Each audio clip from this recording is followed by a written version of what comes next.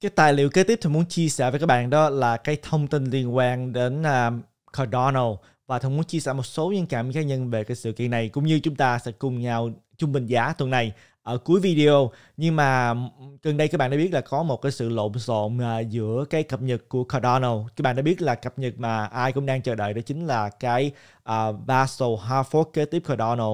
À, và cái hai phút này đó đã được chờ đợi từ tháng 6 rồi. Và khi mà có hai phút này đó thì mạng lưới Cardano sẽ có cái sự hiệu quả nó tăng lên. À, chúng ta sẽ không đi sâu vào cái cập nhật uh, Vaso này. Nhưng mà cái sự kiện đó là cái sự kiện liên quan đến là trước khi mà có Vaso thì đương nhiên chúng ta phải có như mạng lưới testnet. Và một trong những cái phiên bản đó gần đây đó các bạn đã thấy là rất nhiều những trang web nói là phiên bản này đã, đã thất bại. À, và có cái sự lộn xộn. Tại vì trước đó đó thì có một cái à, developer một người phát triển của Cardano nói là cái phiên bản testnet đó đã bị thất bại. Nhưng mà George Hutchinson thì lại nói là không phải. Thì à, nhiều bạn cũng à, khó hiểu là bây giờ khi nào mới có cập nhật uh, Vaso này. Uh, một bên thì nói là có thể là cần phải kiểm tra và cần phải có thêm những cái thử nghiệm uh, một thời gian nữa một bên thì nói là chúng ta đã coi như ờ, gần tới ngày half of Basel rồi, thì chúng ta nên tin ai? Thì cuối cùng đó, cách đây hai ngày ngày 19 tháng 8 đó, thì ờ, George Hutchinson cũng như là mỗi khi à, có những cái buổi AMA thì mọi người có thể hỏi tất cả những vấn đề à, thì George trả lời à, theo cách mà George có thể thì đương nhiên một trong những cái sự kiện đó chính là sự kiện liên quan đến cái cập nhật Vaso này. Và George Hutchinson cũng à, khá là bất mãn và phẫn nộ. Tại vì sao? À, tại vì George Hutchinson nói đó là cái sự kiện này đó không có lớn như mọi người nghĩ. À, nhưng mà chúng ta nhìn thấy được là rất nhiều những cái youtuber rất nhiều những cái trang web đó thì cứ nói là Cardano mạng lưới thử nghiệm đã thất bại trầm trọng ảnh hưởng rất lớn đối với cái sự tiến tới của Cardano trong khi mà George Hutchinson nói đó là không có giống như mọi người nói đương nhiên là mạng lưới đó bây giờ chúng ta đã rõ hơn là cũng gặp một số vấn đề. Và cái vấn đề này đó sẽ được uh, giải quyết giữa những cái người mà chạy những cái uh, stake pool operator đó có nghĩa là những người mà quản lý những cái hội mà staking Cardano với những người mà lập trình Cardano. Nói chung thì cộng đồng Cardano đó sẽ cùng nhau uh, để mà đàm phán giải quyết xem coi là phiên bản này và cái sự kiện này ra sẽ giải quyết như thế nào. Và khi nào mới cập nhật cái phiên bản mới vân vân. Đây là một cái cách hoạt động rất bình thường trên mạng lưới của Cardano cũng như là tất cả những cái mạng lưới mà phi tập trung khác. Thì khi mà có sự việc đó thì cộng đồng sẽ cùng nhau bỏ phiếu, cùng nhau bàn bạc xem coi xử lý như thế nào và thật sự đó thì cho Hutchinson nói là phiên bản cũng đã gặp một số lỗi nhưng mà cái số lỗi đó đã được chỉnh lại rồi và cho Hutchinson thì à, khá là bất mãn tại vì rất nhiều người đã dùng sự kiện này để mà tấn công à, Cardano tung ra những cái tin tức vết, những tin tức mà không đúng sự thật, nói là đã hoàn toàn thất bại, sẽ không có cập nhật Vaso, hay là cập nhật Vaso sẽ trì hoãn tới mấy tháng lận. Cho Hutchinson đứng chính lại đó là những cái lỗi đó đã được khắc phục và càng ngày chúng ta càng tới gần cái ngày cập nhật kế tiếp của đo đầu chính là Vaso, nhưng mà chúng ta vẫn chưa biết là ngày nào. À, và chúng ta cũng thấy được là hồi ờ, sáng này đó khi đường thức dậy thường đã đọc ờ, một dòng thuyết đến từ John Hutchinson. Thì nói chung thì John cũng đã chia sẻ những gì mà nói đến trong buổi livestream à, cũng như là một số cập nhật mới như thường vừa chia sẻ với các bạn là mọi thứ cũng sẽ ổn thôi chúng ta vẫn đang tiến gần tới ngày cập nhật này. À, và John Johnson hình như là cũng đã giống như là không phải xin lỗi mà cũng đã nghĩ là mình đã quá phản ứng mạnh đối với những cái tin tức xấu. Tại vì uh, cho nói là không biết lý do gì thường nó liên quan đến Cardano thì có rất nhiều những cái đơn vị à, cố tình tung những cái tin tức xấu nhưng tức không đúng sự thật ra để mà ảnh hưởng đến tầm nhìn của mọi người liên quan đến à, Cardano.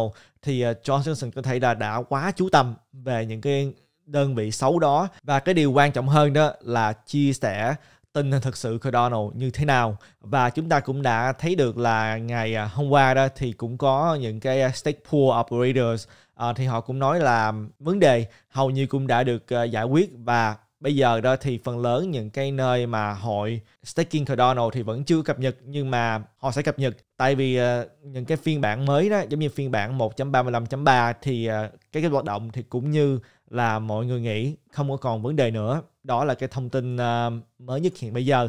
Nhưng mà điều mình thường muốn chia sẻ nhiều hơn với các bạn đó chính là khi mà các bạn làm bất cứ một cái ờ, chuyện gì thì các bạn cũng sẽ có những người thích các bạn, cũng sẽ có những người mà ghét các bạn. Và chúng ta thấy được là thường đó thì mọi người thích tin tức xấu hơn là tin tức tốt. Giống như các bạn nhìn thấy được đây là cái bài viết thuận chia sẻ với các bạn ờ, ngày 24 tháng 3 thì ờ, chúng ta được là có ba đề tài. Ba đề tài này đó là chuyên về Metaverse và NFT được chia sẻ ngày 10 tháng 3 ngày 18 tháng 3 và ngày 23 tháng 3 bởi tạp chí Forbes thì các bạn thấy được là bên à, tay phải đó, chúng ta thấy được cái dòng màu đỏ này đây là cái số lượng lượt xem của những bài viết này trên tạp chí Forbes. Thì các bạn đã thấy được là ngày 10 tháng 3 đó, tạp chí Forbes đưa ra cái à, đề tài là sự hứng thú về NFT và Metaverse đã giảm mạnh, có 111.000 lượt view. Cho bài viết này, ngày 18 tháng 3 đó, thì à, có đề tài của Forbes là Metaverse đang tăng trưởng thì chỉ có 1.200 lượt view mà thôi. Và ngày 23 tháng 3 đó thì làm sao để mua bất động sản trong Metaverse? Chỉ có 364 lượt view mà thôi. Thì điều này nói lên được gì? Điều nói lên được đó là những tin tức giật gân, những tin tức tiêu cực xấu đó thường thì lại khiến cho mọi người bấm vào, người ta tò mò người ta xem. Cho nên à, cũng khó trách YouTube, cũng khó trách mạng xã hội hay là những cái à, bài báo truyền thống, họ thường thích đưa những tin tiêu cực, tại vì thường những tin tiêu cực đó thì lại có lượng view rất là cao và những đơn vị này đó thì à, họ sống nhờ được view mà. Cho nên lượt view là tất cả những gì mà họ cần phải quan tâm đến cho nên rất là dễ dàng khi các bạn mở tờ báo ra, các bạn xem, các bạn thấy được là tin tức trên tờ báo đó là tin tức xấu nhiều hay là tin tức tốt nhiều, tin tức tiêu cực nhiều hay là tích cực nhiều các bạn thấy được là trên tờ báo đầu tiên đó, trang chính thì thường là những tin tức giật gân hay là những cái thông tin à, uh, một sự kiện gì đó đáng tiếc xảy ra liên quan đến chiến tranh hay gì đó chứ các bạn sẽ không thấy được là tin tức liên quan tới là có một anh thanh niên uh, đẹp trai dẫn bà cụ đi qua đường đâu. Thông tin đó không ai đọc hết các bạn thấy được là người ta chỉ thích đọc những thông tin tiêu cực mà thôi. Cho nên việc mà George nói là tại sao nhiều người đăng những thông tin tiêu cực liên quan tới Cardano thì cũng dễ hiểu tại vì những thông tin tiêu cực đó đó lại dẫn đến cái lượt view rất là cao. Giống như chúng ta đã từng thấy à, nó đi theo đợt các bạn thì được là rất nhiều những thời gian. Giống như năm 2019 á, hầu như là ngày nào tuần nào cũng có những cái bài viết tiêu cực liên quan tới Ethereum. Nhưng mà à, chúng ta thấy được là sau đó thì mọi người đã chuyển qua để nói về tiêu cực liên quan tới à, một cái đồng khác tiếp tục như vậy hoài. Cho nên nếu chúng ta chú tâm vào những cái thông tin tiêu cực này đó thì cũng không có hẳn là sự lựa chọn tốt cho thời gian đâu tại vì lúc nào cũng sẽ có những thông tin tiêu cực này tại vì người ta thích đọc mà. Và điều quan trọng hơn đó là những bạn nào mà làm YouTube như bạn nào mà online hay là các bạn làm bất cứ việc gì ở trên uh, cuộc đời này đó các bạn cũng sẽ có những người không thích các bạn những cái anti fan giống như là kênh Thuận Capital đó thì uh, vô số những cái anti fan bao nhiêu năm nay à, có thể là các bạn à, thấy được là cho đến bây giờ đó 5 năm sau Thuận mới dành thời gian để mà nói về anti fan tại vì thực sự Thuận không có thời gian để mà quan tâm nhiều đến anti fan đâu các bạn. 5 năm qua Thuận hoạt động nhất là hoạt động một cái lĩnh vực như là crypto đó một lĩnh vực nhạy cảm như vậy thì đương nhiên có rất nhiều người không thích rồi. Rất là bình thường mà thôi. Nhưng mà nếu như mà thuận cứ quan tâm đến những người mà không thích á, thì à, thuận à, đã chú tâm sai chỗ rồi. Tại vì thuận nghĩ là nếu như chúng ta quá quan tâm đến những cái người mà không thích mình á, thì mình coi như là không tôn trọng những người mà đang chờ đợi những thông tin mà mình cung cấp. Các bạn có thể hiểu đơn giản đó là trên thế giới này, giả sử như có là 100 người đi, thì 10 người sẽ thích các bạn. Các bạn làm gì họ cũng thích hết, tại vì họ thích các bạn rồi. 10 người sẽ ghét các bạn các bạn làm gì họ cũng ghét hết. Còn lại đó 80 người, họ không thích và không ghét, họ không quan tâm đến các bạn. Đó chính là điều tôi nói đây. 80 người còn lại đó, số lượng lớn đó, họ chỉ quan tâm đến là các bạn cung cấp được giá trị gì cho họ mà thôi. Cho nên nếu như mà các bạn chú tâm vào những người mà không thích các bạn đó các bạn cứ làm những cái content làm những cái video viết những bài viết à, để mà chống lại những người đó hay là để à, phản biện lại hay là cái gì đó đó thì không phải là sai. Nhưng mà đó là cách nhìn của mọi người mà thôi. Đối với thuận đó thì thời gian thuận rất là có hạn. Nếu như thuận chú tâm vào phản biện những người mà không thích thuận đó hay là chú tâm làm video về những người mà không thích thuận thì thuận chỉ làm video cho 10% đó xem mà thôi. Còn lại 90% những người mà thích thuận và những người mà không quan tâm đến thuận chỉ quan tâm đến thông tin thuận cung cấp mà thôi thì uh, thuận không tôn trọng những người đó. Cho nên từ những ngày đầu tiên thuận đã ra quyết định là thuận sẽ không quan tâm đến những anti fan chỉ quan tâm đến những người à, thực sự là cần thông tin mà thôi. Và các bạn nên nhớ đó là các bạn làm gì trên thế giới này cũng như vậy hết. Các bạn sinh ra các bạn hít thở không khí là đã có người không thích các bạn rồi. Đó là điều hoàn toàn bình thường không phải ai cũng thích các bạn đâu. Cho nên nếu như các bạn dành thời gian để mà khiến cho mọi người thích các bạn thì các bạn sẽ rất là tốn kém thời gian. Và các bạn nên nhớ một điều là các bạn làm cái gì đó khiến cho người ta không thích thì các bạn đã một phần nào đó đã đi đúng hướng rồi. Tại vì giống như thường đã chia sẻ đó nếu như mà các bạn không có làm gì mà ảnh hưởng đến họ thì họ cũng sẽ không có tốn thời gian à, để mà tấn công các bạn đâu và các bạn cũng có thể thấy được nhìn comment bên dưới đó thì thường cũng rất là ít người à, tiêu cực comment. À, có một số lý do. Thứ nhất đó là những người nào mà tiêu cực comment thường không trả lời à, thì à, họ cũng không có muốn comment nữa. Và những người nào mà giống như là chữ tục hay là những người nào mà nói chuyện không phải sáo thì đừng lóc mà thôi đó là cái cách đơn giản nhất. Những người nào mà không thích bạn thì các bạn có ba cách xử lý. Một à, là các bạn có thể là không quan tâm có nghĩa là các bạn không trả lời thứ hai là các bạn có thể phản biện lại nếu như bạn có thời gian. Còn thứ ba thì các bạn có thể lóc nếu như mà họ không có nói chuyện khách sáo. Rất đơn giản vậy thôi. Quyền được comment là quyền của họ. Quyền trả lời là quyền của mình. Quyền được chửi là quyền của họ. Quyền được lóc là quyền của mình. Thế giới này nó rất đơn giản như vậy. Đối với thuận cũng có rất nhiều à, bạn thường hay giống nhắn tin thuận nói là anh thuận ơi kênh này nói xấu về thuận kênh kênh xấu thuận cũng không quan tâm đâu các bạn. À, tại vì các bạn nên thấy là tổng thống mỹ còn bị chửi hàng ngày thuận lai mà không cho người ta chửi chứ rất bình thường mà thôi cho nên thuận hôm nay dành thời gian để mà chia sẻ về vấn đề này với các bạn tại vì uh, nhân cái sự kiện liên quan tới Cardano Thuận muốn cho các bạn hiểu hơn một chút về suy nghĩ của Thuận liên quan tới anti-fan. Và ai làm gì cũng có lý do hết các bạn. À, một người không thích các bạn đã có nhiều lý do. Có thể là Thuận chia sẻ về crypto, về Bitcoin mà họ, nhà họ bán vàng thì họ không thích rồi. À, có thể là Thuận chia sẻ về à, Bitcoin, về chốt lời hay là đầu tư dài hạn nhưng mà họ lại thua lỗ thì họ sẽ không có thiện cảm đối với kênh này. Cũng bình thường mà thôi ai làm gì cũng có lý do hết và ai cũng có anti fan. Các bạn có nghĩ đi các bạn được sinh ra đời thì có nghĩa là hàng triệu triệu tinh trùng đã không thành công rồi. Bạn là tinh trùng thành công cho nên mới trở thành người bây giờ. À, thì à, những cái à, con tinh trùng đó nó đã xong rồi chứ nếu như không các bạn nghĩ nó có thích các bạn đâu. Cho nên ai cũng sẽ có anti fan rất là bình thường thôi các bạn và phần cuối video này đó, thuận à, muốn dành thời gian để mà cập nhật với các bạn danh mục đầu tư của thuận capital hàng tuần. Thì như các bạn thấy đó, là cái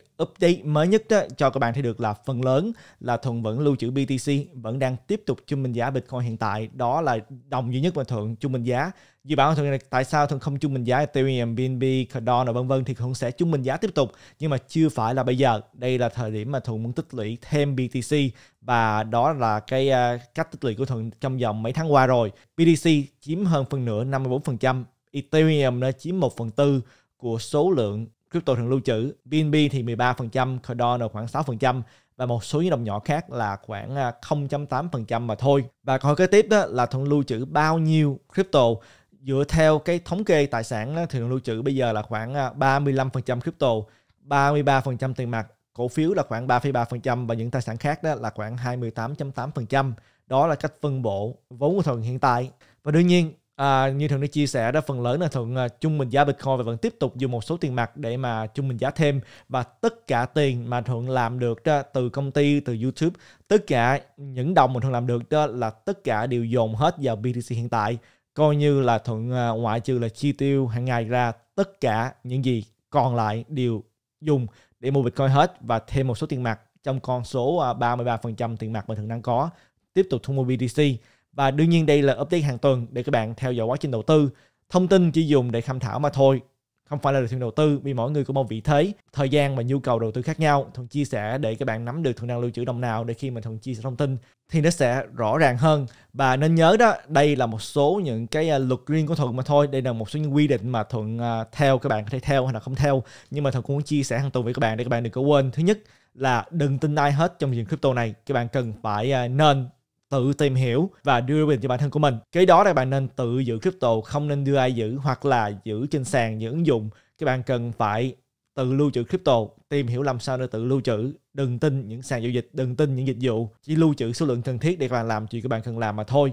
Giống như là trading thì lưu trữ số lượng cần thiết để bạn trade mà thôi. Nhớ chúc lời các bạn mà không chúc lời đó thì người ta sẽ chúc lời giùm các bạn. Khi nào chúc lời thì nhất định sẽ chia sẻ với các bạn trên, trên cái channel này. Phân bổ vốn các bạn cần phải hiểu phân bổ vốn chia ra chứ không có phải là các bạn all in. All nhiều all out là một trong những cái cách làm không, không muốn khuyến khích. Cho những người nào mà muốn đầu tư dài hạn không vay mượn và cuối cùng zoom out đầu tư dài hạn. Và tới cuối video đó thì à, chúng ta cũng à, sẽ nhìn vào cái à, danh mục đầu tư demo đây là cái danh mục đầu tư mà chúng ta đã tạo ra cách đây khoảng chừng à, hơn 4 tháng đó.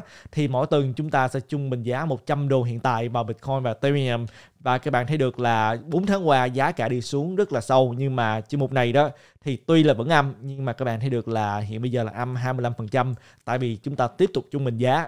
Và đương nhiên chỉ mới có hơn 4 tháng mà thôi. Trung bình giá thì phải có dài hạn. Các bạn mới thấy được kết quả thực sự. Chúng ta bây giờ hãy tiếp tục trung bình giá vào cái danh mục demo này thì chúng ta hôm nay cũng sẽ mua thêm 100 đô BTC. Thì 100 đô BTC chúng ta có thể mua được là 0.00465 ở mức là 99 đô 83 cent.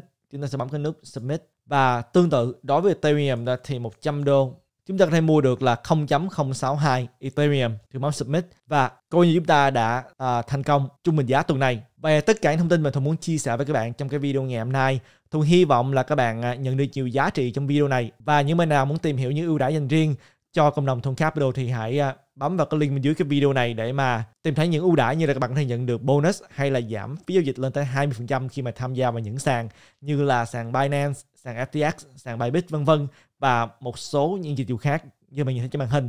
Và một lần nữa, Thuận cảm ơn các bạn đã dành thời gian để mà xem video ngày hôm nay và Thuận sẽ hẹn gặp lại các bạn trong video kế tiếp. Tạm biệt các bạn.